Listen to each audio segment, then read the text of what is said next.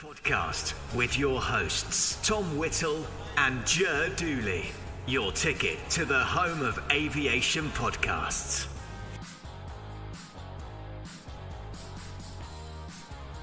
It's Sunday night, and you know what that means. A very good evening, everybody, to what is episode 13 of the Departure Lounge podcast here on my YouTube channel, the home of aviation podcasts here on YouTube. My name, as ever, is Tom Whittle, and as you can see, uh, with the uh, with the background there, there is no Jer Dooley this evening. He's not very well, so we're sending our best wishes to him, and hopefully he will be back with us next week. However, we have a stand-in co-host um, who is also our resident comment reader. So, for episode 13, welcome Ian Hartley. Thanks, Tom. Hope you hope you're well, and uh, thanks for having me for tonight. Not a problem. Thanks for uh, thanks for standing in at, uh, at short notice. I won't talk as much as what Jay does. It's not necessarily a bad thing. Yeah. but no. Um, but yes, so um, usual sort of housekeeping will get off and underway shortly. Um, but if you have any questions tonight for this evening's guest, uh, pop them into the chat. Um, also, say your hellos, and we'll get them read out uh, throughout the uh, throughout the evening. Um, and uh, yeah, that is pretty much that's pretty much that. So let's get into uh, the housekeeping side of things before we move on um, to sort of the main podcast. So as you can see on the top uh, and also in the uh, description below are the links to the Instagram ch- Instagram page for the channel and of course Twitter and of course a little notification to say subscribe if you haven't. Um, it was obviously you know if you go follow them, it'll be much much appreciated. Secondly, a big sort of nudge in a direction of the channel sponsor airspotters.com who continue to uh, throw out models uh, left, right, and centre, and um, you know with, with such such good service as well. Um, definitely check them out. The link to their website is also in the description below. And of course, if you wish to be a guest on the show at any stage in the future, drop us a message on either Instagram, Twitter, or even in the comments, and we'll get hold of you um, pretty much as soon as we can. So, yes. Also, one last sort of thing. Happy Father's Day to all the fathers out there, um, and of course all the fathers that obviously couldn't be with us today as well. So a big Happy Father's Day. Of course, uh, Ian, you're a father, so Happy Father's Day to you. Thanks very much. Thank you. And uh, yeah, that is pretty much all the housekeeping for tonight. So, um, what we'll do, we'll quickly jump into the comments. There's a couple of people there uh, that have said hello. So, Ian, do you want to do the honours? Yeah, I can do. Yeah. So we've got Jones's Aviation. He says hello, and or or Rose. I, I hope I pronounced that right. Fifteen zero six. He says hello. Uh, and Pillow Pilot says hi, guys. I'm presuming, yeah, I'm presuming the other two guys are, are friends of uh, Pillow Pilot, so the the other names I've not seen before. So hello to you. Yes, a very good evening, everybody. And of course, the people that are watching at the moment that haven't commented, don't be shy. Uh, throw your comments into the chat and we will get them read out as soon as we can. However, let's get on with the podcast and we are going to jump into, and we're bringing back rather, a little segment which is the news.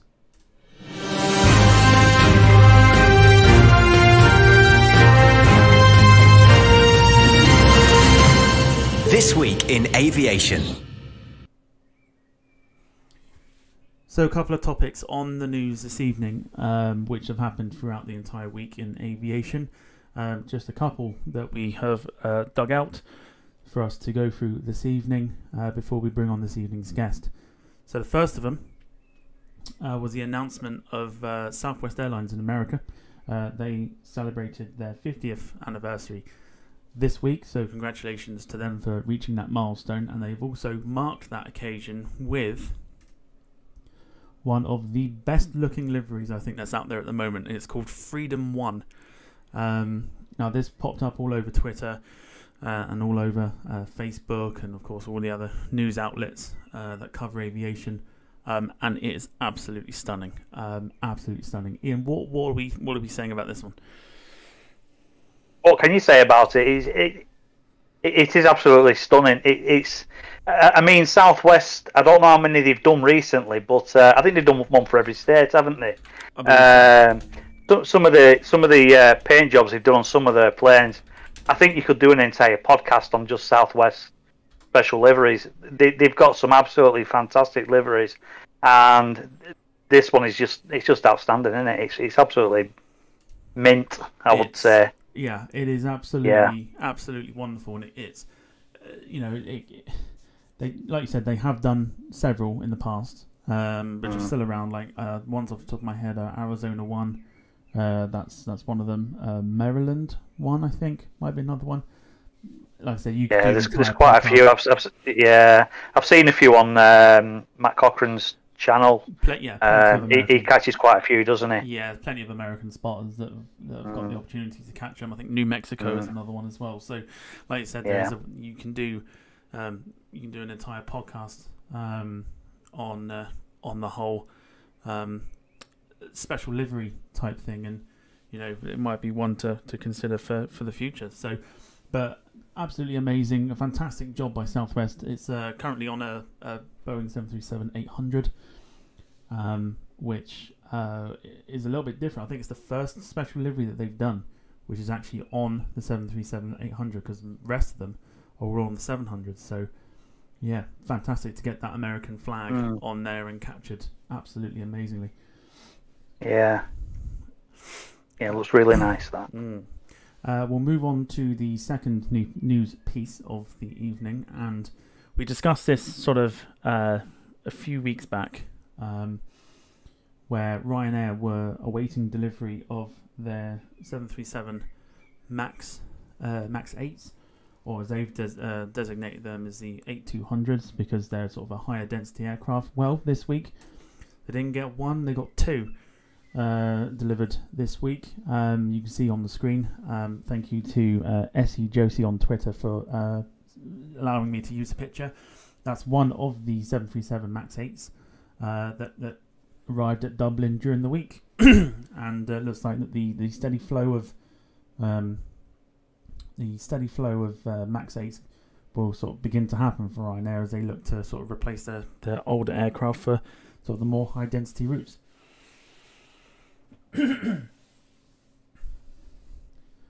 So, uh, so yeah, um, Ian, about time. Well, for the for the Ryanair Max 8s, well, I think it's about time for. Um, it's nice to see that the Max 8s finally, you know, it's it's up and airborne again, and they don't seem to be having any problems with it, which is fantastic. And it's nice to see that an airline like Ryanair are, um, you, you know, buying some of these new new new planes. Um, I think Ryanair were the first carrier to get the um, 197 seat 737, weren't they? That's right. I think yes. they're the yeah yeah they were the first carrier to take one of these planes. So yep, they're going to cram them in like sardines, no problem in one of them, aren't they? No, they they cram them in like sardines on the uh, the older uh, 800s, and they'll they'll do it on the Max as well. Why not? Absolutely, yeah. I think Um, Ryanair wanted people to stand up, didn't they? And all sorts of stuff. So there we go. If you're going to pay for a seat, you might as well pay for an actual seat. Um, Yeah, absolutely. Yeah. No, but it's nice to see. It really, really is. Yes. Um, so yeah, so that's the first two have arrived of what is going to be 210 of the aircraft to be um, delivered to Ryanair over the uh, over the coming years, um, and they're expected to take 12 over this uh, this this sort of summer. Um, six of those for Ryanair, and then six of those for Malta Air, which are the uh, sort of the new subsidiary uh, for uh, for Ryanair for operations in uh, in Malta. So yeah, it's it's steady and slow, but it'll it'll catch on, I'm sure. And yeah, by by by that time, all the 210 aircraft will be delivered, no doubt.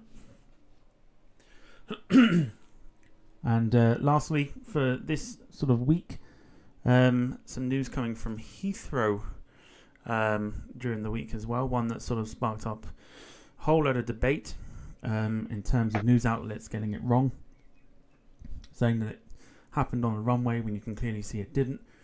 Um, this was, of course, the uh, British Airways 787 8 Dreamliner that uh, unfortunately had its uh, nose gear collapse um, while sitting at the gate. Now, there was no passengers on board. This aircraft was specifically being used for freight. Um, and it turns out that it was a simple sort of error in terms of the uh, locking pin was uh, inserted incorrectly. So um, yeah, it's not good for British Airways, but um, the aircraft has suffered damage.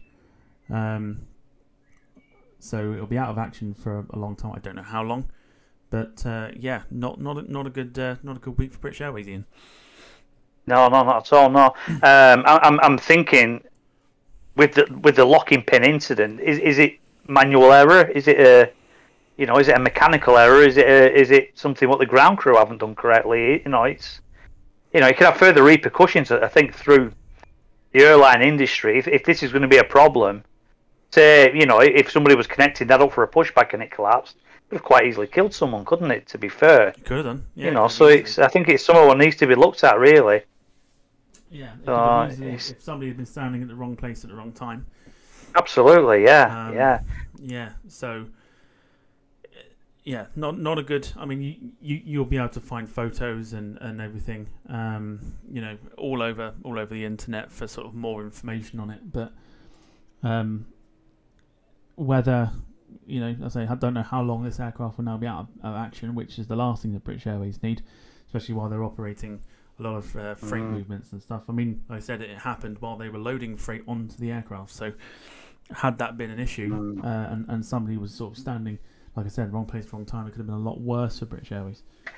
Absolutely, yeah. And I mean, at the front end of a, a 787, it's the same with any aircraft, it's where all sensitive equipment is as well. So Yeah, all that's going to have to be looked at and probably replaced. So that's going to run into tens of thousands, isn't it, for uh, British Airways to get that thing back up in air again? not uncommon though for uh, for this sort of thing to happen. Um, whether it's the nose gear collapsing or sort of the more frequent one is loading uh, freight onto the aircraft, sort of in an unbalanced way. So that I mean, I remember I think it was back in 2004. I think there was a Eva Air MD-11 freighter that the cargo was loaded incorrectly, and then the the plane actually leant backwards and ended up sitting on its tail. Uh, you know, like the back end. of the Yeah, plane. Um, there, there has been um, air, air crash investigation TV programs as well with the same kind of thing where cargo's not been loaded correctly, and it, it it's got to be done right, hasn't it? Yeah, and it's it, Mhm. it's uh, I'm just trying to think of, of some more sort of uh, examples really of um, of this sort of thing happening, but I can't think of the top of my head. The only one I could think of was, was that one. Um, I'm pretty sure it was 2004. Well, there are, I, I forgot which plane it is now, but they have some. I don't know whether it's one of Antonov's or something like that, but they have a prop, don't they? What they stick under the back to make sure that it doesn't, you know, lift up. You know, so the front doesn't lift up when they're loading the cargo. yeah, yeah. There's, Yeah, a, there's a special yeah. way of loading it. That's the thing. There's a special way of loading it, and um, Yeah, obviously it just it wasn't followed on. Well, I mean, like I said, it was just that the lock-in pin wasn't in correctly, and the the weight of the freight must have caused it to uh, yeah to, to collapse. just So- collapse. Yeah. So yeah, yeah. What we know is that the um, the uh, UK's Air Accident Investigation Branch, um, or AAIB for short, um, sent a team to Heathrow to investigate why why this happened. Um, so yeah, so fingers crossed we'll know in the next few days um, exactly what happened. Yeah, yeah. That's terrible. But uh, that It's is- just one, it's one thing after another, isn't it? With seven eight seven. yeah, and I mean, considering this is more of like a human error, I think in terms of Yeah, just not putting the locking pin in place properly. Um, and uh, yeah, it's not sort of like a mechanical sort of thing. At least that's not, you know, it, you can speculate about it, but I suppose we'll just have to wait and see what the report comes out with. absolutely. Um, yeah, and, yeah. And obviously they'll make sure that that never sort of happens. Well, you, you can't stop it from happening, but sort of for a while anyway, that it doesn't happen again, and especially uh, Yeah. not with uh, not not with British Airways. But uh, but yes, that will that will do it for the news uh, this week. Uh, we'll be back again with some more news next week, uh, with no doubt things happening that will uh, that will report. So what we'll do now, we'll quickly run back into the uh, comments um, and say a few hellos to people that have joined us just now. and uh, then we'll go ahead with bringing our guest on. So, uh, Ian. Yeah, we've got Steve Plains. Um, he's just saying hi to us both, and he's saying that he, he hopes that your sunburn didn't cause too much grief last week. Now, I hope it did, but. uh, well, if you must know, but, if you must know, last week for anyone that did, hasn't sort of you know, not knowing what that is, last week I went out to Newquay, got all the uh, Air Force uh, Air Force One and G7 Summit uh, departures and stuff. You can see the video on the channel. Um, and I got sunburnt like you would never th- believe. And I was. You imagine a lobster looking at me going, "Yes, yeah, sod that." Um, so at the moment, my arms are peeling, my face is done peeling, backs of my legs are red still, um, but I'm not in pain. So So yeah, doing a lot better than I was last week. I had to take two days off work as well uh, last week because of it because my legs were so like stiff I could not stand straight. So and I wasn't going to risk it. So yeah, I'm doing all right now. Happy days. Um, Rob Brown plane spotting. Evening, guys. Greetings from north of the border. Hello, hello. Um, so g- good evening to you, Rob Brown's plane spotting, and he was saying that uh, there was a Cargolux um, 747 which had a similar incident back in Shanghai in 90, eh, sorry, in 2006. Oh, interesting. So, so, so it is uncommon. Mm. Uh, uh, sorry, it is common for it to to sort of happen. Um, yeah, I, I, like I said, I can't think of, of any more that's off top of my head apart from that one I mentioned. Um, didn't even know about that Cargolux one, but I'm, I'm sure throughout the evening people will post. If you can think of any uh, instance that happened, chuck them in the chat. We'll read them out throughout the show. But uh, yes, let's um, let's get on with the um, guest side of things uh, by introducing uh, our guest for this week.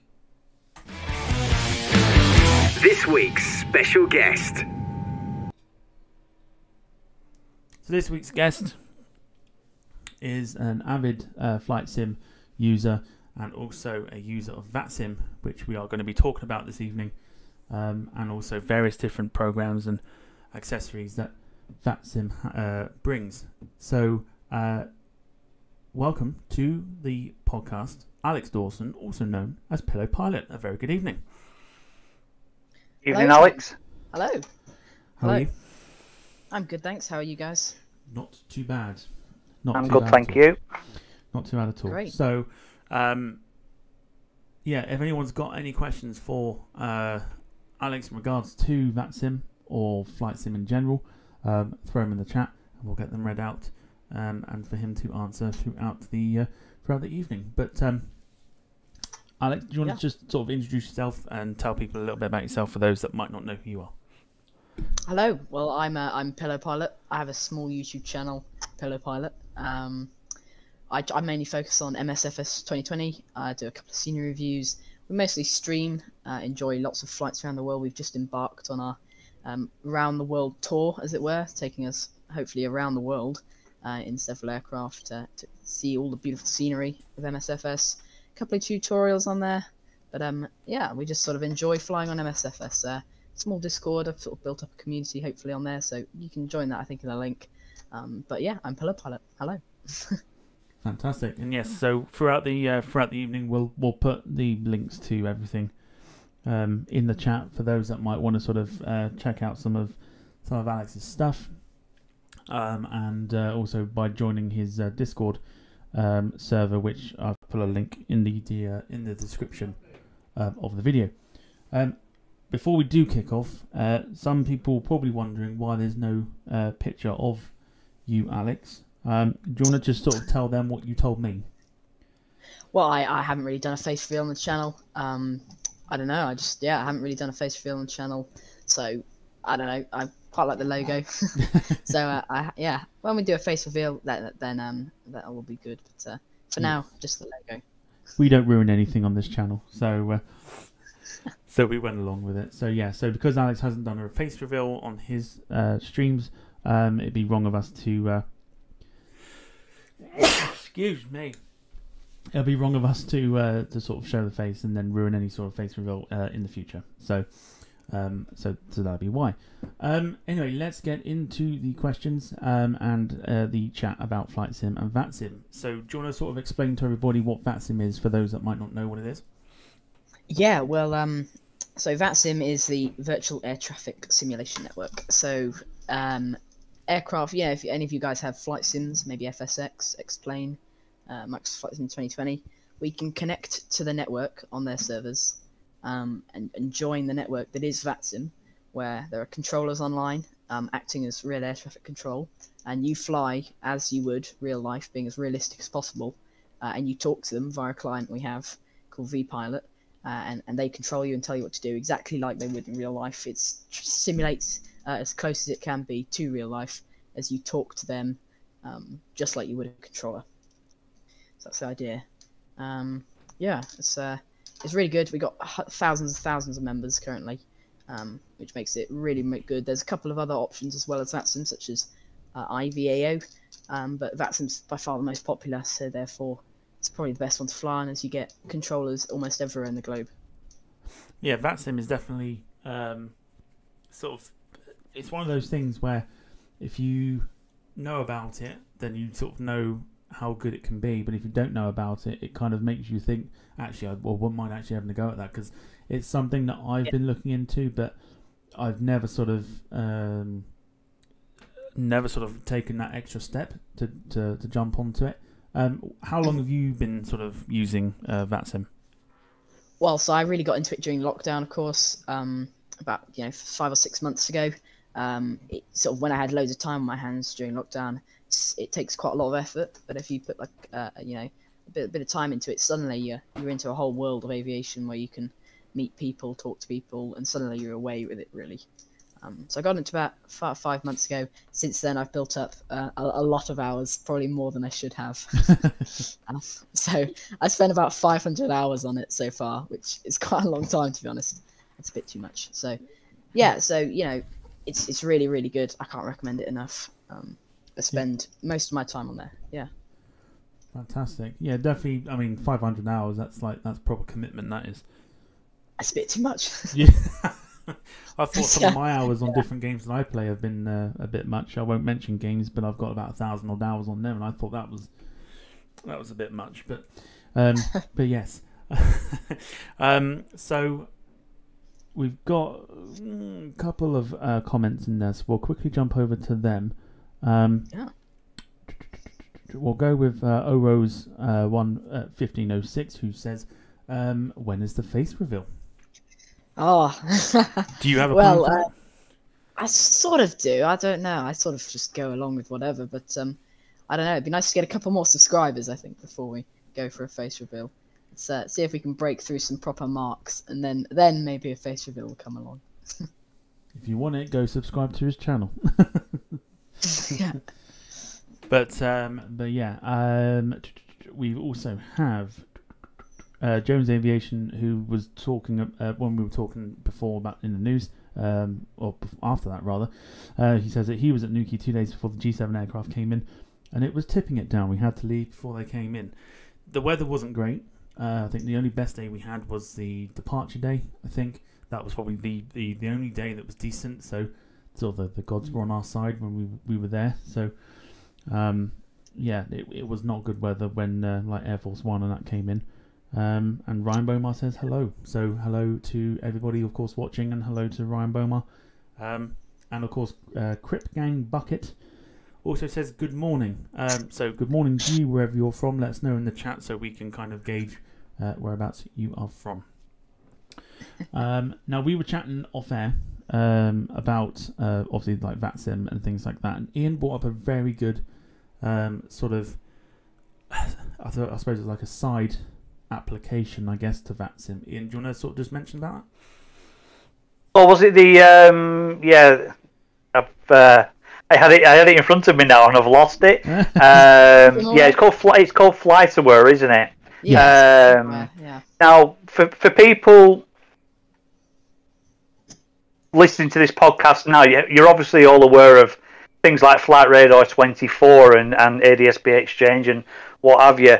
But there is um, a similar kind of thing, and what's well, do you want to explain it, Alex, rather than me trying to mumble my way through it? I think that'll be the easiest thing to do.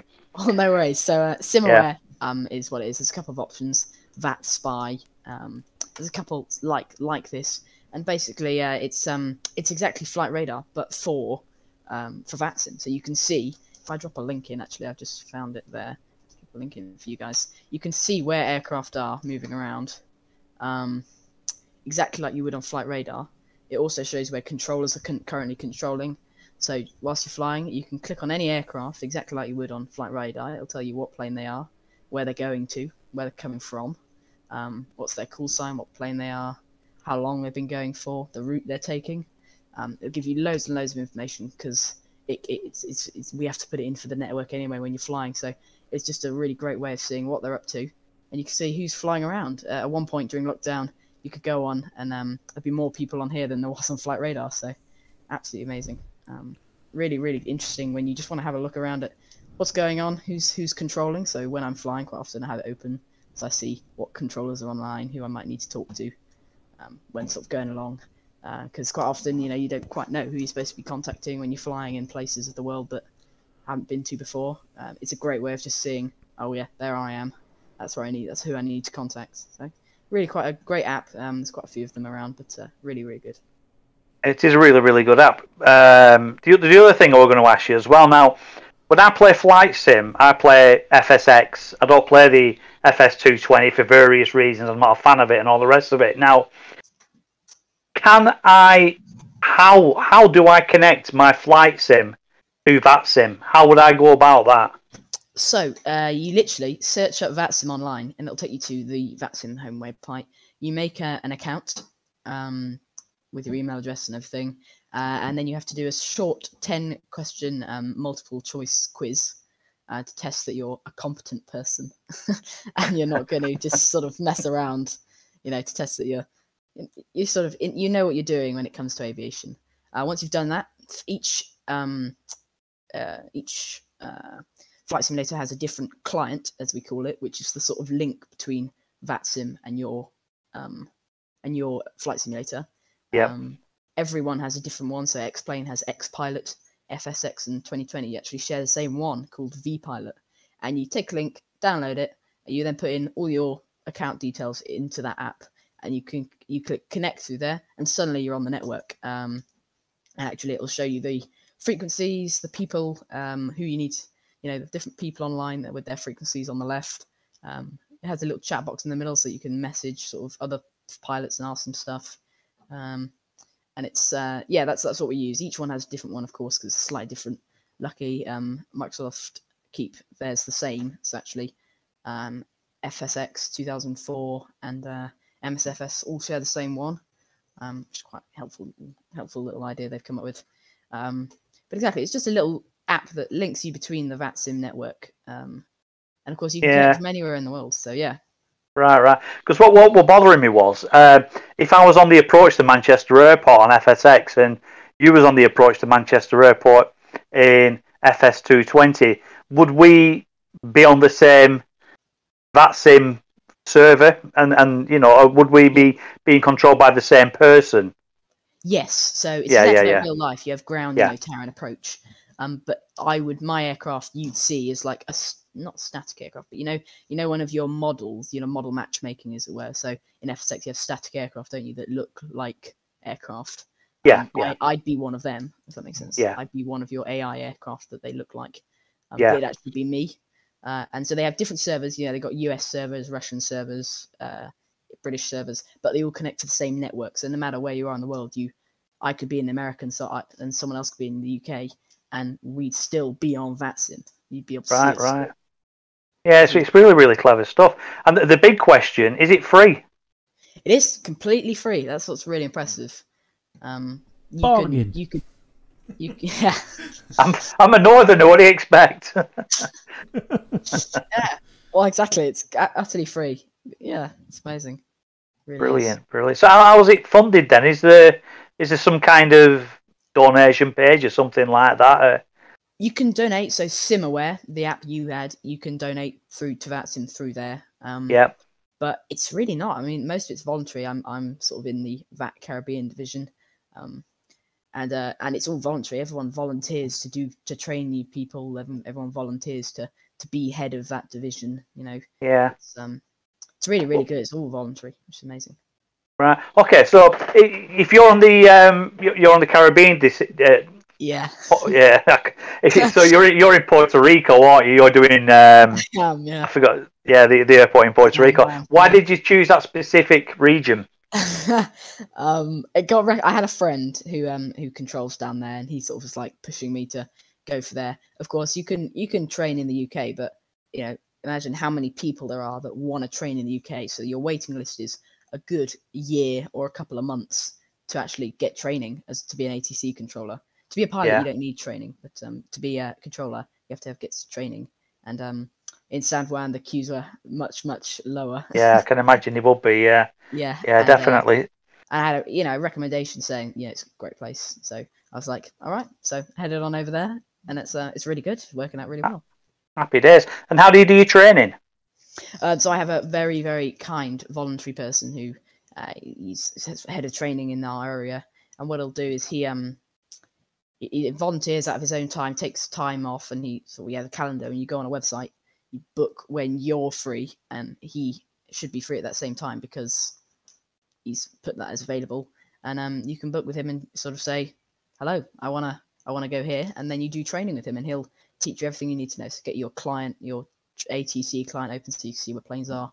Tells you each airport's different, of course. You know, Gatwick has different departures to Manchester or something like that. You know, every every airport's different, different taxiways and everything. So you get Yeah. trained on specific airports. Some some of it's transferable to other places, but uh, that's yeah. So you have to get training from him, and he he spends all his time training you. It's amazing. Wow, yeah, yeah, yeah. You won't think that, uh, y- y- you know, for, for I don't know, you, just, you won't imagine that people would want to put that uh, amount of time and, and dedicate themselves so much into something um, for nothing, Exactly, yeah. particularly, Yeah, you know, yeah. and, and to do that's brilliant. Yeah, it's really good.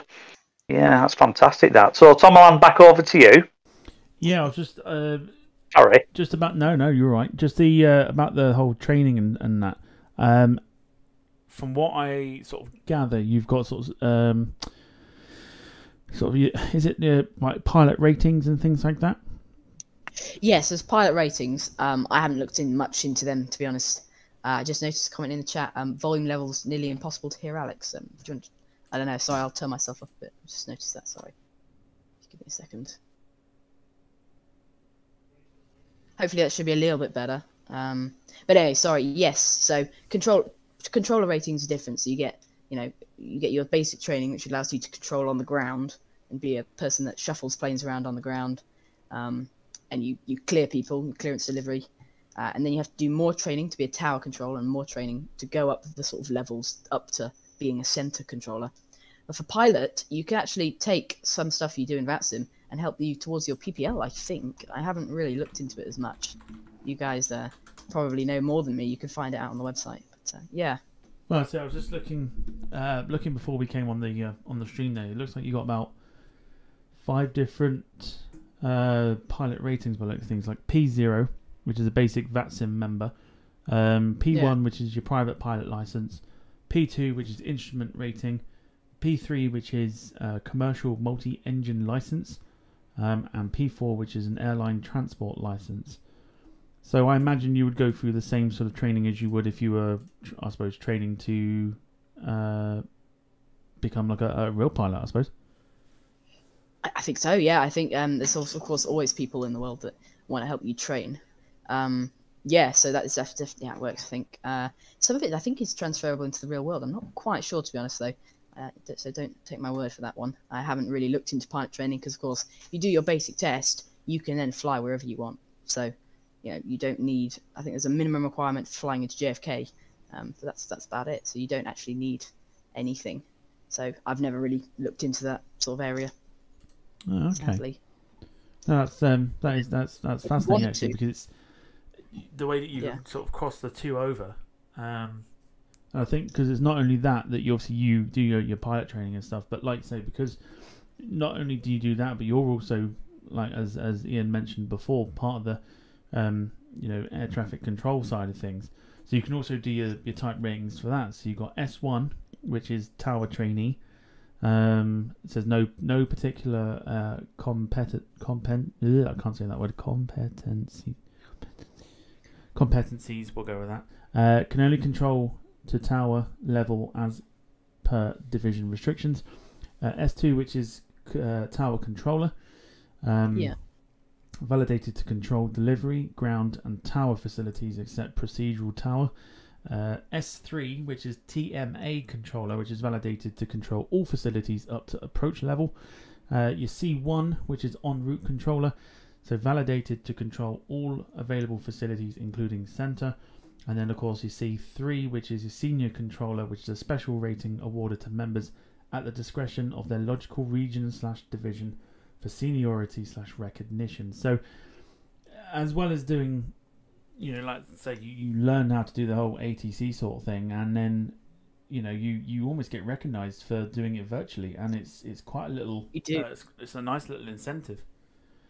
It's definitely an incentive. I mean, you know, you're never done, as it were, really, because even when you get to the top, you you know you want to move on and move on. There's more you can do. Um, you can always be working your way up, really. So, it's really really great because it, it teaches people to be professional actually, because it gives them that motive to not mess around, do it properly, and yeah, you can go somewhere, which is pretty, pretty amazing. Yeah, yeah. I've seen I've seen a lot of people on uh, on YouTube. Um, if I'm going to drop some names, uh, people like Air Force Proud ninety five. Um, he from time to time will do uh, sort of a, a short flight with with VATSIM.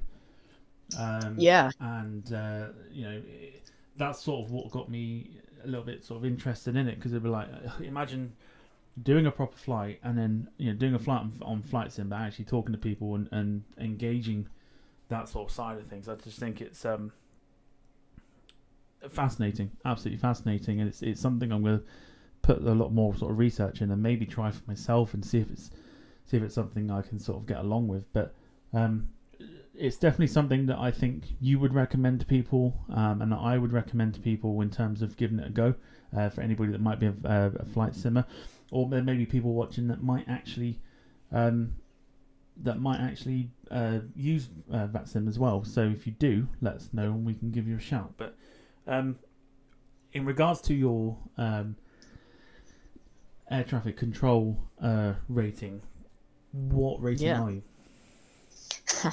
so I am an S1 uh, officially tower trainee, so I can do d- delivery and ground. Okay. However, I have just finished my um, tower exams, so I've got an exam tomorrow actually, final one, practical, um, and then uh, yeah, and then and then I should be tower controller, which is pretty amazing. Well, so you've actually got to take like like, phys- Like- physical exams. Yeah, you have to do two written ones. You have to get eighty percent or higher. Um, if you fail it, you have to wait a week. So that was a bit stressful.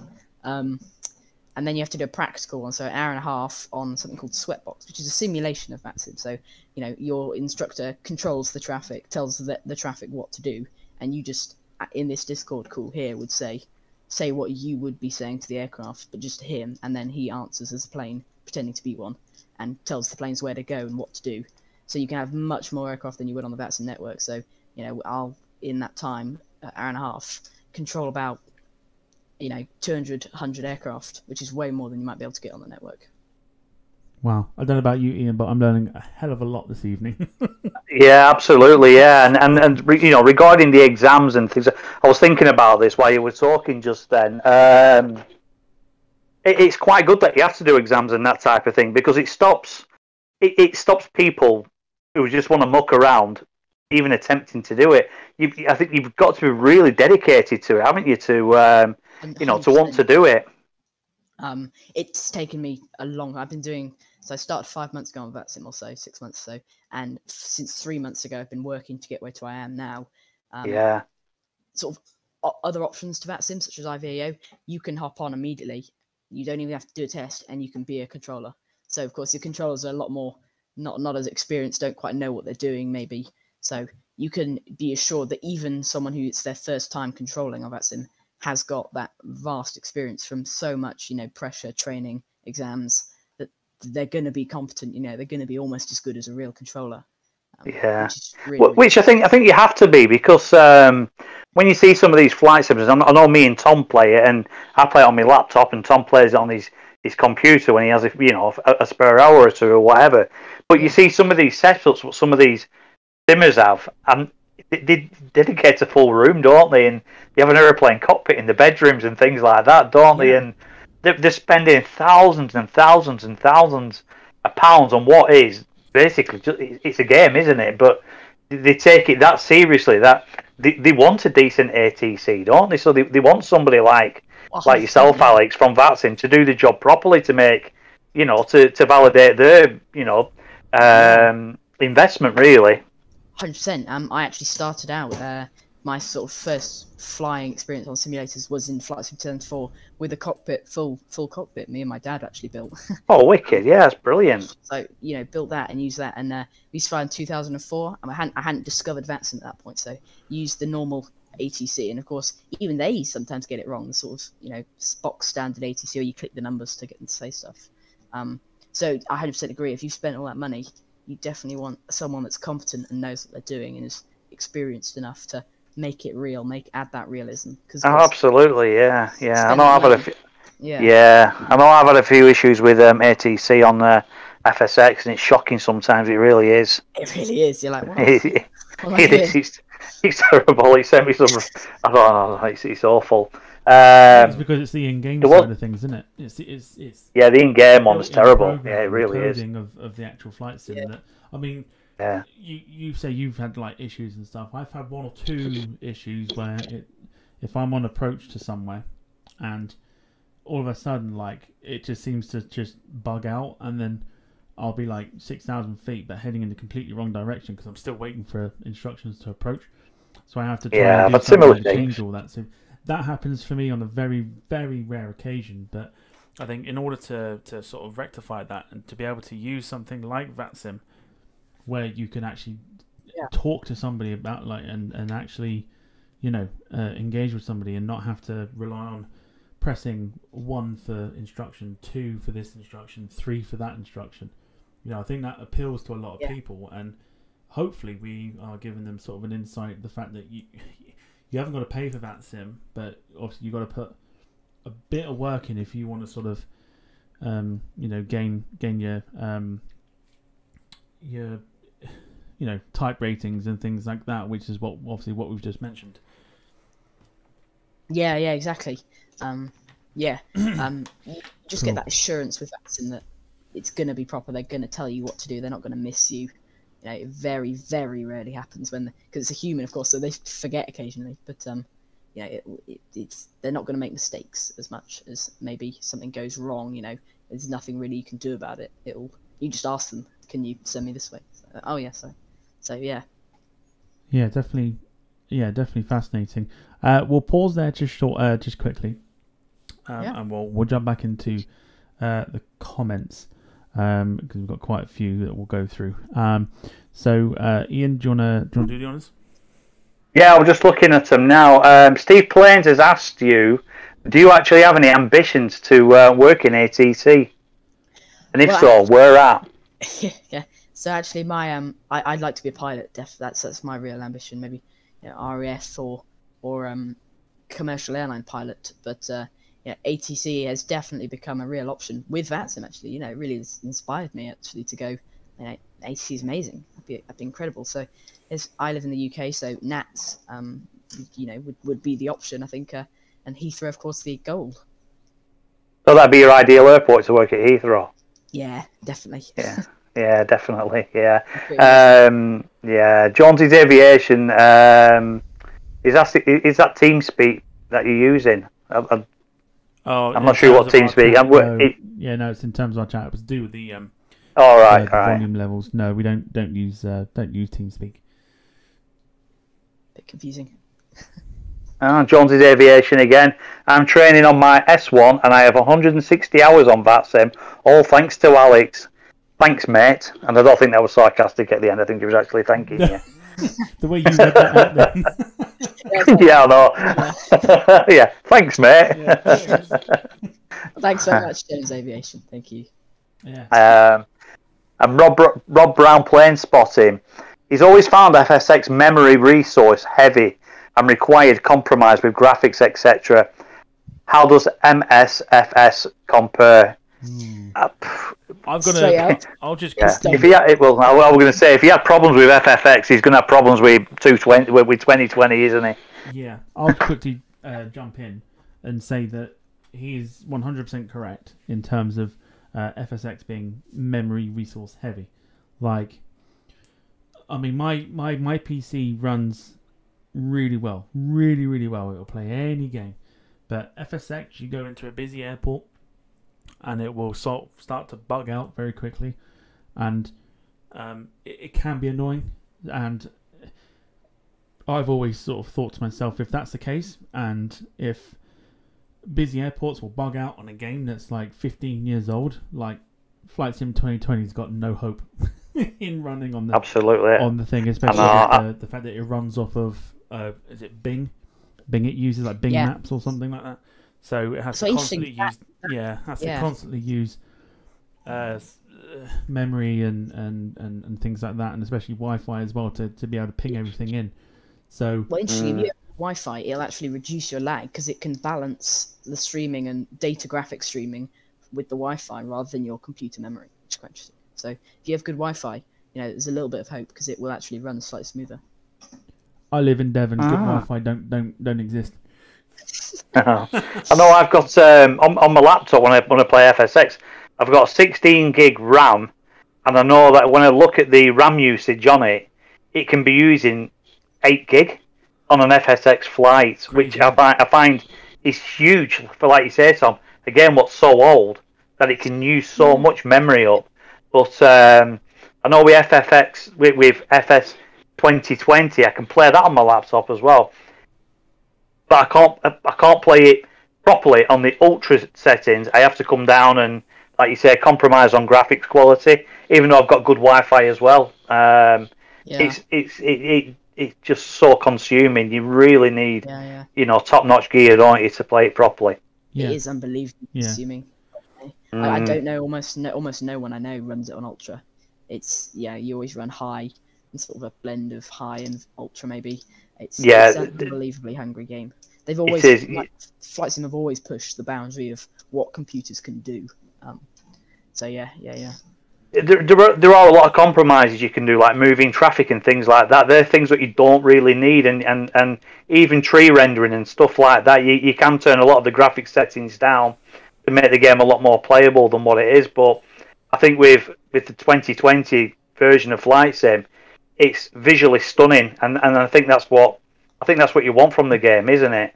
Well, I'm just looking at your sort of replay in the background of the stream, and that is, you know, I was doing that earlier, and it is it's very amazing what they can do. They really do capture it almost exactly like that. It's yeah, it's very impressive. Um, Mm. so, you know, some people argue it's a bit you know, cartoony, which I can understand. It can it can be at times, but it's still absolutely amazing with detail. And as more aircraft get released, I think it'll become the dominant sim. Um, I think I think it will. But don't, don't you think though? Um, at, at the point of release, it was more visual than playable. And would you say it's still that, that that that sort of balance now? I think we've passed that balance a bit now. I when it first released, 100% definitely more sort of you know your, your GTA flight sim or something like that. Do you know I mean it wasn't so much as X-Plane, FSX, not serious level. You know you're hitting. Um, yeah, yeah, definitely. But uh, with the mods that have been released, so like the FlyByWire, A32NX, I'm sure if you play Microsoft Flight Sim, you've heard of that. It's pretty. That's just amazing. That adds so much detail. That is now just as good as something from X-Plane or FSX now. That is absolutely amazing. PMDG with their DC6. I know it's DC6, but that is incredible. Um, it's we're really sort of getting to the point where planes that are being released are very, very good. Um, Yeah. really How how do you get on with the um? Do you know the Garmin glass cockpits? The- How do you get on with them? Ah, Garmin glass cockpits. Yeah, well, I, I do mostly my flying in the 320 and airliners, but um, when we fly when I fly in the Garmin's, they're they're all right. I find them a bit confusing, but uh, yeah, I Yeah, yeah, I do too. Yeah, yeah, I can't do it. Yeah, I can, I can fly the older stuff. Yeah, but when when I see one of those Garmin cockpits, I just tend to go back to what I was doing before. yeah. Yeah, definitely. Yeah. right, sorry, Tom. Do you want to go back onto topic? Um, yeah, no, I was just going to say there's a uh, question uh, in there about Joe uh, from Travelino blog saying no Joe today. Uh, no Joe today because uh, he is uh, under the weather um, and uh, taking the week off. Uh, but he will be back with us next week. Um, and like I said at the top of the show, we are uh, sending out uh, best wishes for him to sort of feel better. Yeah, absolutely. So uh, yeah, get better soon, and uh, yeah, he'll be back with us next week. Um, but yeah, uh, so talking on, uh, on on flight sims, we'll, we'll move slightly away from VATSIM very very quickly. Um, Mm. How are you enjoying uh, the new? Uh, well, I say new; it's been out for a while now. Um, the the flight sim 2020. That is abs- absolutely amazing. It was my way into VATSIM really because uh, it's so you if you have FS 2020, it's so accessible to get into VATSIM um, and be off and away really. Um, and so I, that was just absolutely amazing. That was definitely the way in. Uh, getting along with it well. The only problem is I think I find you can't have a cockpit as so. So you know those people that spend lots of money, as we were saying earlier, having a full flight deck made, you can't use that with it currently. So Okay. for me, I have the TCA pack, officer pack, um, that I run. You know, you have a seat, stuff like that. I try and sort of make it as real as possible, but you're not, you can't, you can't do what you could do with FSX, which was have a full flight deck set up. You know, really stuff like that, amazing, Prepar3D kind of level, stuff like that. Um, so, but I really find it absolutely amazing because it looks lovely. There's so many stuff you can add on at the moment, and if you fly the 320 Neo, there's a beautiful, beautiful like A32NX for that. Lovely liveries that come out for it, and so it's just you really do feel. I often fly around the UK as EasyJet, and I really do feel a bit like an airline pilot. You really are. It's really real. It's- Yeah, because there's um there's a huge uh, livery pack that came out for the uh, for the 320 um, to sort of add a bit of um, bit of realism, I suppose, if you didn't want to fly around in the Airbus livery um, Mm. the, the whole time, and you had like EasyJet, uh, like Delta, like loads, like you could see pictures from everybody when it came out, like. You know, there was airlines Yeah. that don't even operate like the 320 that you could put liveries onto, and and it was it, Yeah. it was a nice little sort of bit of realism.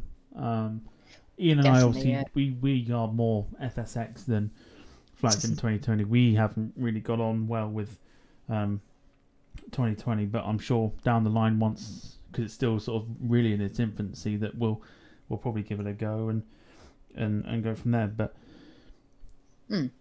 yeah, I, I, I urge you to do that.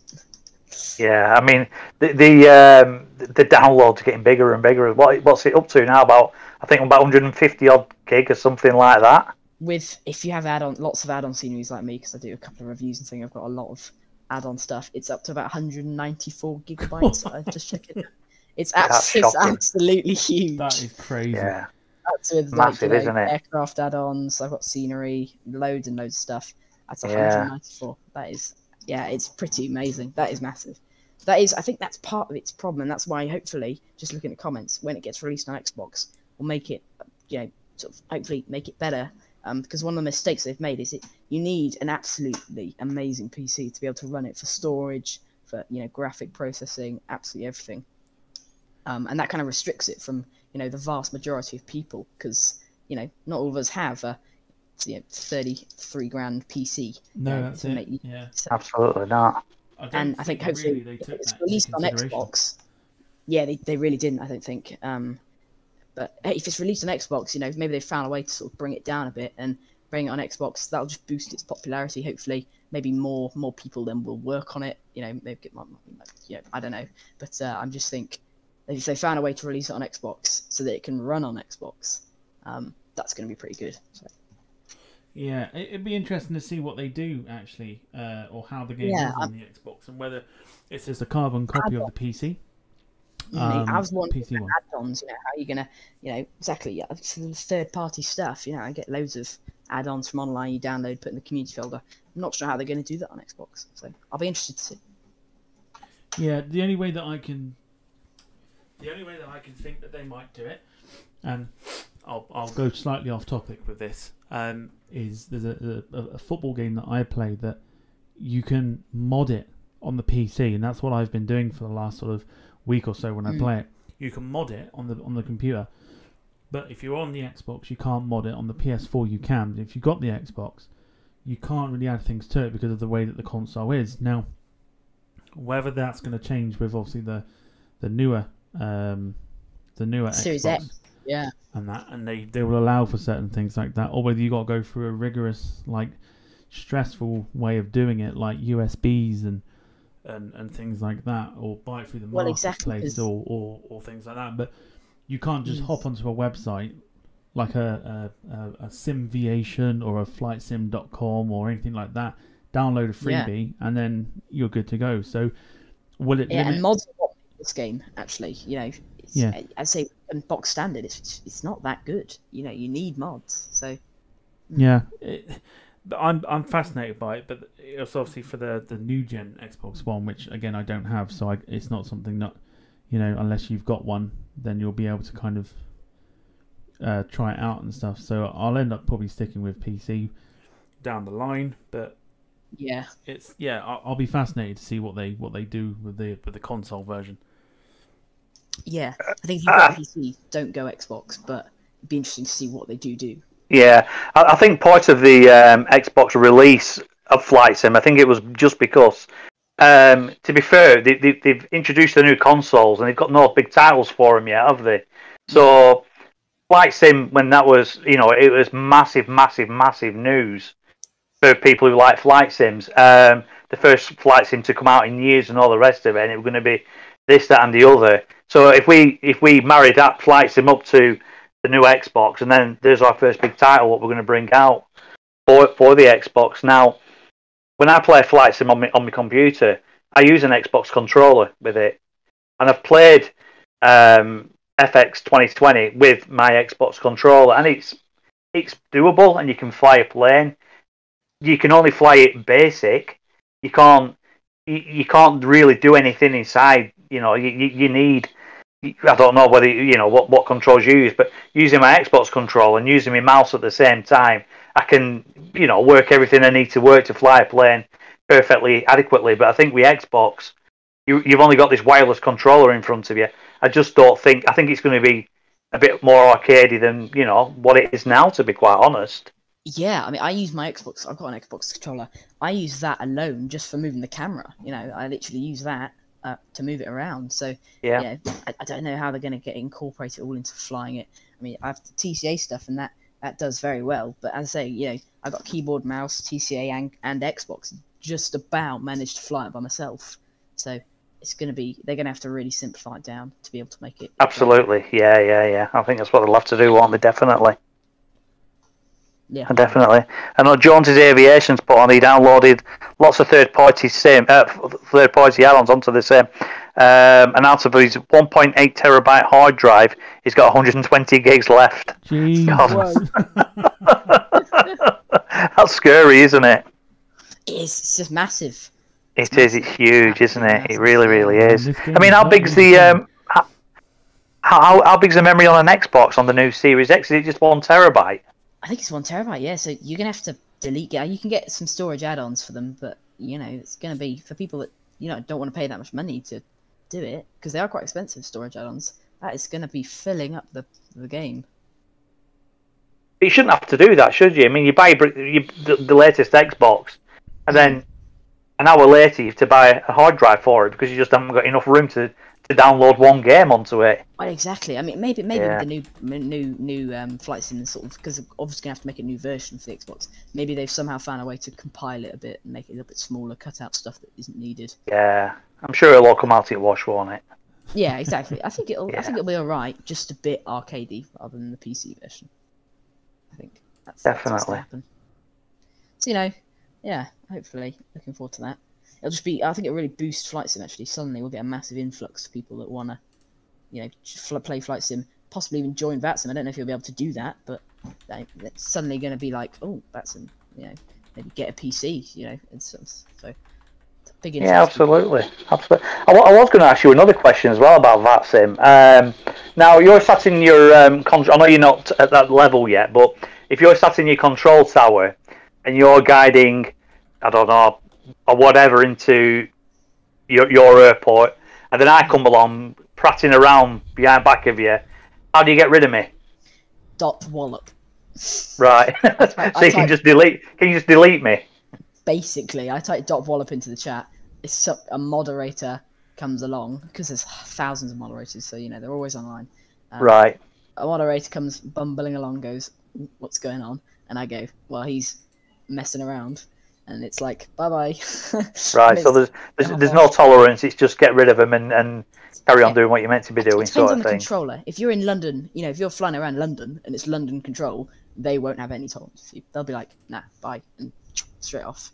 Yeah. Whereas if you're bumbling around in San Juan, maybe, and you just make a mistake or a bit annoying, I, I give you a second chance. You know, it all depends on the controller, really. But I think the general thing is, if you mess around, you're probably going to go. So I, I think you can tell the difference between somebody who's made a mistake and somebody who's just annoying Hmm. you and then doing it on purpose, couldn't you? yeah, exactly. And I think that's that's it, isn't it? Yeah. And so Yeah. you just have to watch out. Yeah, absolutely. Yeah, yeah, yeah. Um, if you have any more questions, Tom? Well, I was just going to mention actually um, before we sort of um, spoke about the sort of the Xbox side of things. Um, something fascinating that I I saw about VatSim is that they hold events, um, sort of annually, um, and there's a couple here that I sort of want to want to talk about because these are sort of something that a lot of us people that just play flight sim right, like on the on a on a you know simple sort of basis uh, will kind of tend to do anyway. But there's three events that I've sort of found and, and sort of researched up. Now, one is called uh, World Flight, um, and basically uh, it says World Flight Australia is an annual virtual round the world charity event that has been running continuously since 2011. Uh, sorry, 2001, where 11 teams from different countries in their own fixed-based aircraft simulators fly to over 40 destinations around the world on VATSIM to raise money for the Australian Royal Flying Doctor Service, which I think is absolutely fantastic. Yeah. Yeah, exactly. It's amazing because you get full ATC coverage as well because it's an event. You know, Wanna- yeah, throughout the entire thing. Yeah, throughout the entire thing, and it, incredible. it's just just fascinating. And it, it, it goes goes on to say Yeah. VATSIM air traffic controllers provide service throughout this event, and apparently in 2006, 15 enthusiasts conducted a 130-hour flight in a full-sized Boeing 747-400 simulator for which Qantas provided the food. Wow. I've, seen, I've seen their simulator. It's amazing. That that to me is like absolutely like it's those kind of events that make you sort of think It's a big one. There's another big one. The uh, VATS across the pond. They call it. You know, That's go from it, yeah, JFK. yeah. to Okay, that is that is massive. That is absolutely massive. yeah. You so- get hundreds. You have to you have to Yeah. book a slot. It gets so busy. Yeah, you have to say I'm flying from here to here. Yeah, I was just I was just gonna say so. Uh, Yeah. Cross the Pond is a biannual event uh, during which pilots complete transatlantic flights across the pond between Europe and Northern America. The events uh, the event alternates between westbound and eastbound every six months. Certain airports are selected a few months prior for which pilots can book slots to fly for, and VATSIM air traffic controllers provide full service uh, for each of these airports throughout the event. The event is meticulously planned and coordinated by all major VATSIM uh, staff members to make sure that pilots enjoy their service. During the spring 2020 event, VATSIM surpassed its record for most pilots connected to the network with 3,111. yeah. So amazing. that is huge. yeah, that is absolutely vast. It's incredible. especially if you've You watch it. Yeah. Yeah, exactly. You what you got a book. Um, they've slots book up quickly. You know, out of Heathrow, that goes within about an hour of it being allowed. Because Heathrow's, you know, you want to fly out of Heathrow to JFK. That's the main flagship route. You know. um, I had a friend who flew a Concorde. He flew it there and back in the time it took people to just go there. So you have a lot of fun with that stuff like that. Black across. Wow. But uh, if, on Simaware, which we were talking about earlier, um, it's just a flood of green of planes just going across. It's amazing, absolutely amazing. Wow. Is it something that you've uh, you've ever considered? I've I've always wanted to go on it. Sadly, times haven't quite worked out, so not quite easy to um. Well, uh, not quite easy to uh, hop, hop on ever. I've missed it a couple of times, uh, but this hopefully this time coming up, I'm definitely going to try for it.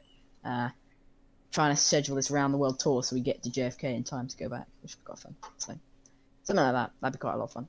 If you do, we'll get you back on and you can talk to us about it. Definitely. um, excuse me. And the, uh, the the last one is regional events. So in addition to the global international events, the VATSIM sponsors and advertises, regional events can be found daily throughout the network. These events can range from small in size, including only a few airports or facilities, to very large in size, spanning across multiple regions and facilities. Although they don't typically attract record breaking traffic, these events have been known to draw enough pilots to simulate and even surpass real world operations at the selected facilities. So there's always something going on. Um, Yeah. yeah, always something going on every day. Mm. You'll get a ping ping. It goes bing bing, and you it goes something like a I don't know. Um, it's, it's like working Wednesdays or something, and it's like Gatwick to anywhere in Germany.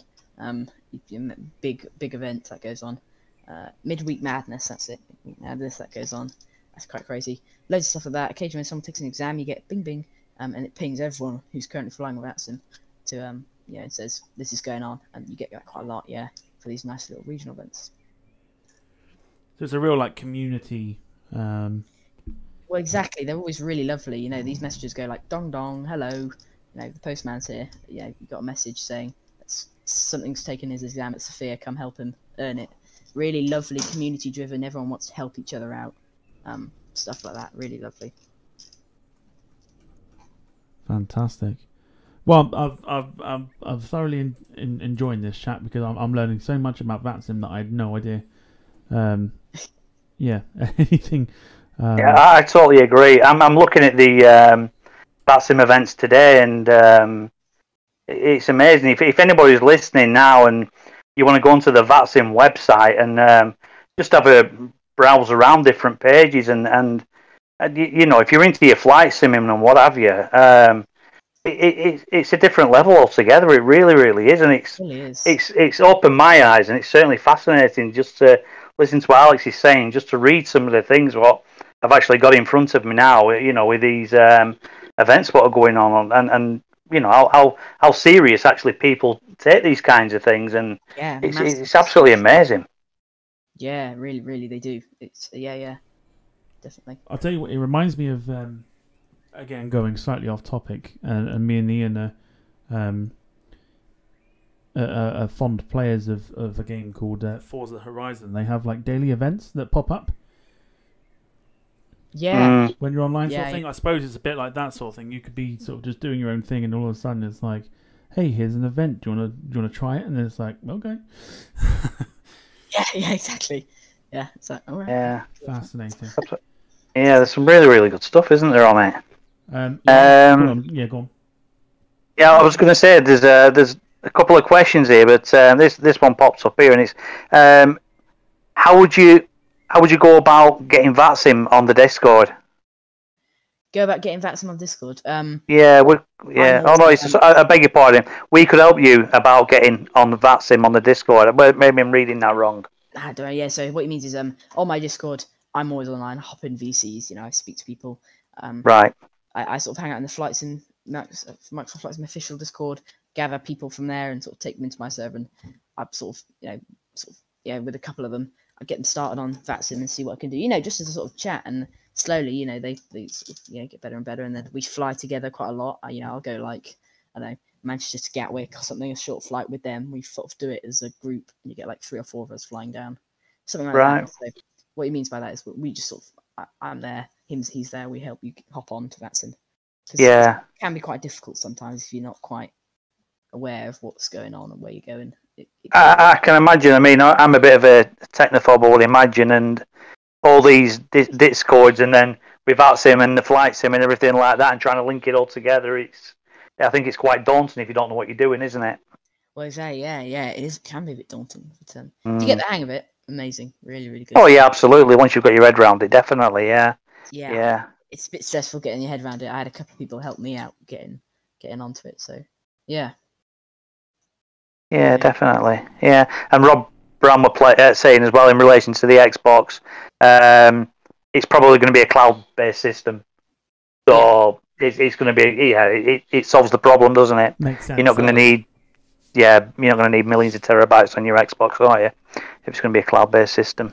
No, makes Yeah. sense that. Yeah, definitely. Yeah, yeah, yeah. So I will just again jump in and as well and uh, mention that Rob Rob Brown did sort of say his goodbyes. Um, he says, "Thanks for the stream, guys. Need to bug out for the time being on the chase of a U.S. Uh, Air Force C5 departure." Wow. Um, I know one of those has been into uh, Scotland over the weekend, so or maybe two of them actually. Two have been into Scotland over the weekend, so um, yeah, no, that's fine. Uh, ditch us for the planes. Go for it. Why not? yeah, absolutely. Yeah, got me looking now. Uh, and in, in regards to the uh, cross the pond uh, challenge, which we were talking about, Jones Aviation says the eastbound cross the pond will be great due to the jet stream pushing you along.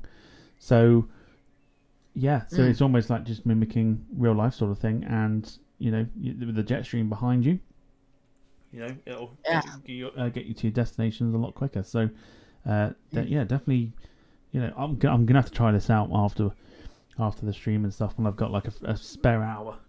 Definitely uh, Yeah. give it a try and, and see if I can uh, get the hang of it. Well, yeah, it's a lot of fun. It really is a lot of fun. Amazing.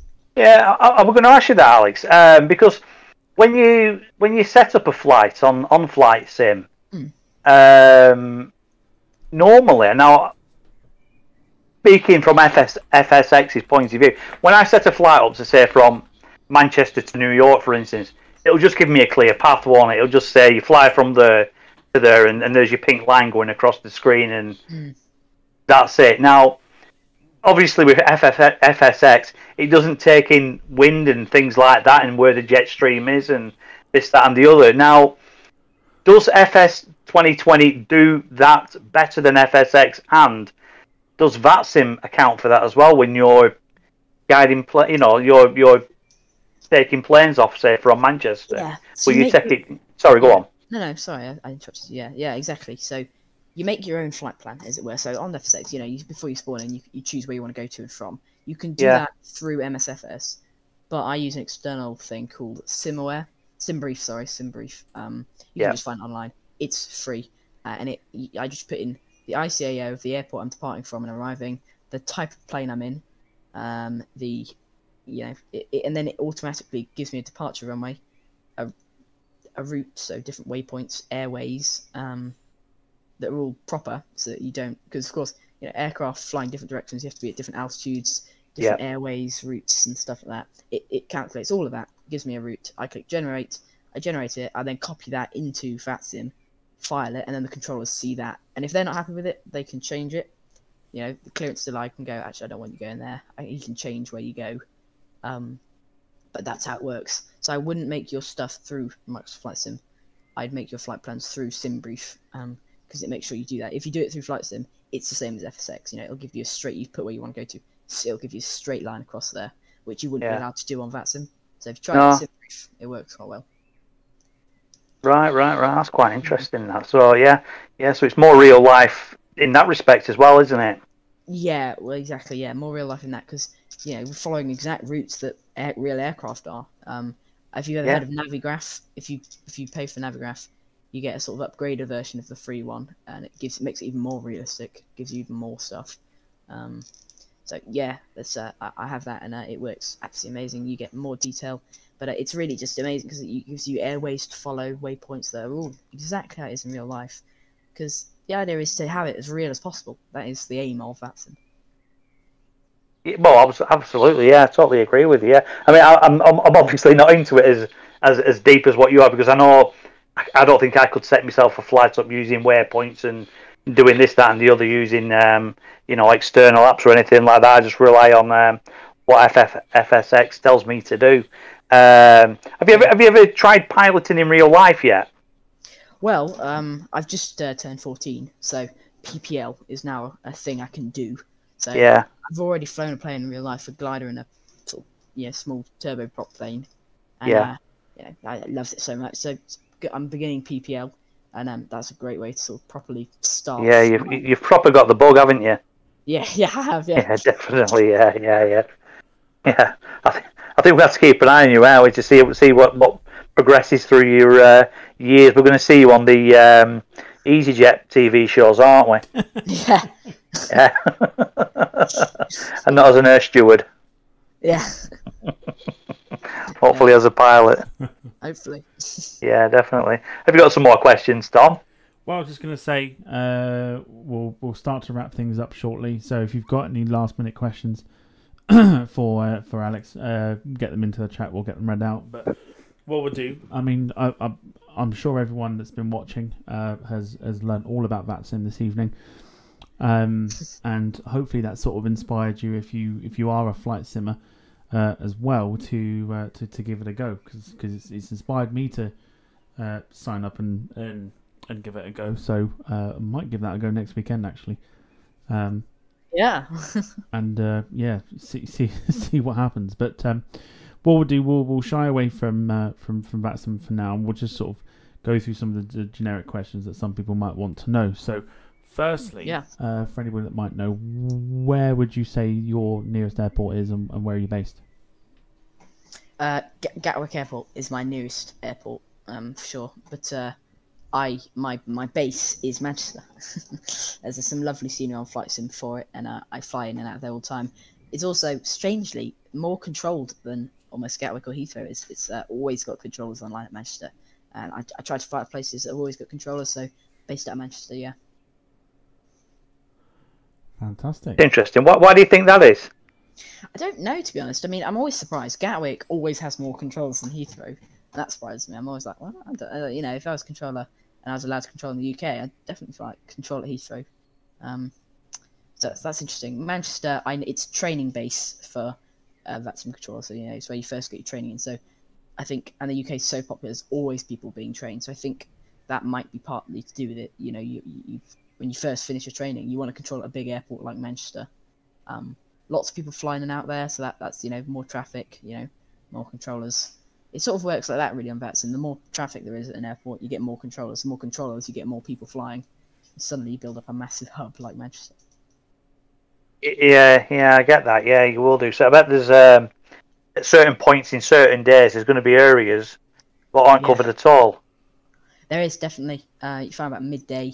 There's not really any. Actually, that's not true. There's not really anything in Europe. There's a lot though. Of course, in America because it's a sort of just late late evening there. Um, Yeah, early in the morning. It's uh, nice, um, nice in America. And then this time really is UK massively, massively busy on SimAware. yeah. I'm just looking. Uh, yeah, on SimAware now. Yeah. You can see how busy UK is. absolutely packed. So just to sort of say, there's you know, Manchester's currently got approach, delivery, ground, and tower and line. We've got London Control, um, Gatwick's got approach, ground, tower, Bristol, Dublin, Birmingham, Edinburgh. Ev- everywhere is in the world's control. It's absolutely amazing in Europe Right. currently. Yeah. Um, now, do you know the um, the, the screens? What you what you, I don't know what you'd call it. The, the radar screen. What an ATC would use. Mm. Now, obviously, you have access to that, don't you? Because it's what you're using. It's what you need. Could Yeah. me? Could could I just watch in on that? Could I just click on something to watch in? You can actually download the app we use um, for controlling, and you could be in what's called an observer, where you, you know, you're not controlling, but you can watch the aircraft move around on Yeah. the radar screen. Um, that's quite easy to do. That's good practice as well. People quite like doing that. I've noticed quite a few people do that. So, I, I, I just find it fascinating watching it on uh, on a radar. yeah, so you could like sign on in the UK as an observer, and you should watch all the planes Yeah. move around. From, like, Yeah, so I ground. would do that then. So you can download something called VRC, Euroscope, VStars, all different programs that are radar screens. Um, that you can you can use you can use them, and you can just go sign on as OBS, which is observer, and you can just watch planes go by. Exactly. Uh, you just download it, search it up online, literally search up Euroscope download. You search it in, and you just put your rating in and everything. Make sure you fill out all your VATSIM details, and you can sign on and watch planes go by. That's fantastic. I'm gonna have a look at that later. Yeah, yeah. Well, if you Yeah, definitely. I definitely want to look at that. Yeah, it's it's fascinating. yeah, it is. It's me. Yeah. It really is. Right, sorry, Tom. No, you're all good. You're all good. Um, yeah, once Ian tries that and once he likes it, he'll get hooked to it. So Yeah. that's the, that's the kind of person he is. Yeah, put me to sleep at night. yeah, I'm, I'm, well, I'm running out of YouTube now anyway, so I need something else to do. No, That's all right. I'm, I'm sure I can give you a few recommendations if you want to sort of sleep at night. Um, uh, what I will say quickly before we move on, uh, Joe is actually in the in the comments. He says, "Well done, guys, on a great show." So um, Hey, Joe, even if thanks he's not much. hosting the show, Yeah, cheers, Joe. uh, he is he's not far away from it. So um, yeah, cheers, cheers, Joe, and, and, and get well soon, and we'll have you back next week, no doubt. Um, Yeah, absolutely. but uh, Yeah. but yeah, uh, away from flight sim, then um, again, um, what what's your uh, what's your favorite aircraft? Oh, Airbus. I think the A380. That would have to be my favorite A380. Love it. Can't get enough of it. Flight deck's amazing. No, um, looks. I think it looks pretty cool from the outside. So I think A380 or A320. A320 Neo. I do. I, I got a special spot for that. That's pretty nice. Fascinating. I think that's the first time I think we've had the A380 mentioned as a um as a as a favorite really. Yeah. from a from a Is, is that just a sim thing, though, Alex, or is that uh, in real life? I haven't ever flown it on a simulator actually. Um, Oh, have you not? Okay, None right. of them are good enough. The FlyByWire team that made the 320 sort of add-on are actually going to release one soon, hopefully, and I'm really excited for that. But uh, currently they have they have not, so I've never flown one. Um, I've lucky enough to have been in the cockpit of one in real life. Um, it's pretty amazing. Um, but uh, that's it, and I just sort of we I flew on it to Dubai, and I sort of fallen in love with it. Really, it's amazing. I just I love it. Wow. Fascinating. Yeah. Um, are you considered to? be- So do you just stick to flight sim, or are you like a, a plane spotter away from that as well? I, I stick to flight sim mostly. Um, I sadly I don't live quite near close enough to any place, so Gatwick's still a good half an hour to an hour drive away from me. So I don't sort of you know, sort of live close enough so I can just go, oh, you know, plane going over. Um, but of course, if if you know if we're ne- go on holiday to an airport near an airport or something, yeah, yeah, definitely love watching the planes go by and yeah, I like real world aviation. Looking at planes, that is a lot of fun. Um, yeah. Um, but flight sim Fantastic mostly. stuff. Yeah. Awesome. Um, I think, I think we'll leave that there. I think. Yeah. Yeah, we'll leave that there. Uh, we've been going for a, an hour and 24 minutes, and once again, it's even though it's the 13th episode and the 13th time that we've done this, it never, never, you know, surprise. Well, it does surprise me all the time how quickly the uh, the time just seems to fly by. Um, Yeah. it's it's absolutely crazy. Um, but yeah, thank you uh, so much for enlightening us uh, this evening, uh, Alex, about uh, VATSIM. Uh, you you you taught me, you've taught Ian, um, and you've you've taught our viewers a lot about um, you know the the wonderful world of, of flight sim and, and VATSIM and, and everything that comes with it. So uh, yeah, so thank you very much. Well, Yeah, thanks it's very been much brilliant. having. Yeah, it's been absolutely fascinating. Well, thank you very, very much. Thanks very much for having me. Uh, was really amazing. Thank you. Not a problem. Now, what we do uh, before we uh, before we disappear, um, we do our uh, weekly shout outs to people. Um, now, because I forgot all about him last week, I I forgot all about him last week, and I he hasn't let me live it down. So, uh, Ian, would you like to go first with your shout outs so you can get them out of the way while I remember? Yeah, it won't take long. Um, just um, thanks to Alex for joining us tonight. Yourself, Tom, for letting me co-host it with you tonight, and uh, a massive shout out to Joe. Let's hope he gets better soon. Um, all the fathers out there who were enjoying Father's Day, and um, that's pretty much it, to be quite honest. And myself. No- nothing wrong with giving yourself a shout out. I think. And, and obviously all the people who were in the chat as well Yes. and listening in tonight. Definitely. Absolutely. Yeah. I'll say normally we, we do the, the, the guest first in terms of shout out, but I'll end up forgetting Ian again, and I don't want. And in typical Joe style, I've got another list. I haven't. No. I'll end up forgetting Ian again, and I don't want to be living that down for the, the second week in a row. So I thought I'll get him out of the way first. Yeah, no, cheers. But uh, no, Alex, if you've got anybody to shout out, you can shout out as many people as you like. This is your opportunity. well, Jones Aviation, firstly, thank you. He's uh, been a great friend of mine for a while. Got a lovely YouTube channel. I just sort of it's similar content to me, but on X Plane. So um, thanks very much, Jones Aviation. Um, yeah, thanks very much, Orus. Uh, thanks very much. You showed up earlier. Nice to see you. Hello. Thanks very much. Um, Bucket. Well, thanks very much indeed. Um, so yeah, thank you very much, you two, you three. Thanks. Awesome. You're welcome. Yeah. Yeah, not not a problem. Um, I'll I'll do a few shout outs because because I can. Um, it's my show. Um, Yeah.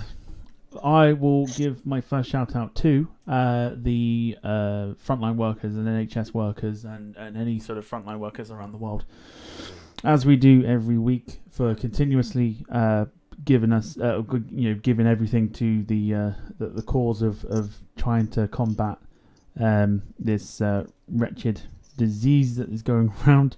Um, you know, your your hard work and that is, is appreciated by everybody. Um, so so keep going, and one day we you know, we will get there. Uh, we will get there very very soon. Um, shout out to Ian for doing a, a stellar job in um, uh, st- a standing co-host. Thank you. Um, a shout out to you, Alex, for uh, giving us your time this evening and, uh, like I said, enlightening us about uh, all things Vatsim. Well, thank you very, very much for having me. Not a problem. I'm, I'm sure at some point in the future we'll, we'll have you back on, maybe around one of the events and stuff, like we said. Um, Yeah. uh, just so you during can it, it of- gets kind of boring. yeah, just just so you can sort of let us know how it, how it goes and and and, Oh, yeah. and teach us a thing or two about the the, the events and that. Um, uh, shout out to our fallen comrade, uh, uh, uh, Jer, as well. Um, hopefully you'll be back with us again next week. Um, and I think that's that's gonna. Oh, and of course, uh, all the fathers out there.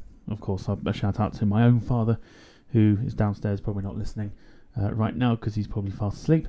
Um, but um, happy Father's Day to all the all the fathers uh, fathers out there. Uh, right. So who will be on next week? So next week uh, we're diving into a completely different side of aviation. Um, we are joined by the uh, very lovely Jordan Maserati. Uh, she's a former cabin crew personnel now working for EasyJet, um, and she's going to be talking to us about all things to do with cabin crew life and uh, discuss her new job uh, that she's got into recently. Um, I won't say what because we'll keep that as a surprise. Um, it's, it's still in aviation. So, yeah, looking forward to next week. Next week should be a lot of fun. Um, hopefully, we'll have Joe back with us as well next week for next week's show. Um, but that's going to do it. That's going to do it for this week. So, um, yeah, it's, it's been a lot of fun. Um, time has flown by very, very quickly. Um, and no doubt time during the week will fly by and we'll be on episode 14 like that. So, yeah, uh, what we'll do, we'll say our we'll say our goodbyes. I think that's what we do now. trying to think. No, Yep. it is what we do. Goodbye, everybody. Thanks so much, YouTube. Thanks so much. We'll, we'll go around the room. Screw it. Why not? yeah. Bye. Bye. Uh, well, hold, we're, we're still going around the room. So uh, we'll, we'll go with we'll go with Alex first. Alex, do you want to uh, just say bye to everybody? Yeah, well, thanks very much, guys. Thanks very much for having me, actually. Um, so yeah, thanks very much all of you guys on YouTube for watching. Um, thanks very much for putting up with me. um, I'll c- hopefully see you soon. So uh, thanks very much.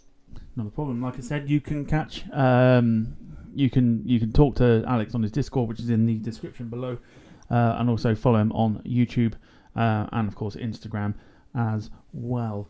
Uh, Ian, uh, do you want to say goodbye? Yep, everyone? just yeah. Thank, thanks to everybody for listening in tonight, and thanks to you, Alex, and uh, yourself, Tom, and uh, we'll see you all next week. Thanks for tuning in. Bye yeah, thanks so much.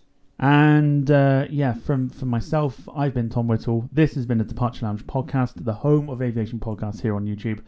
And we'll do this all again next week, 7 p.m., with uh, Jordan Maserati. So for now, have a fantastic week, everybody. Continue to stay safe, and uh, we'll see you next week. Take care.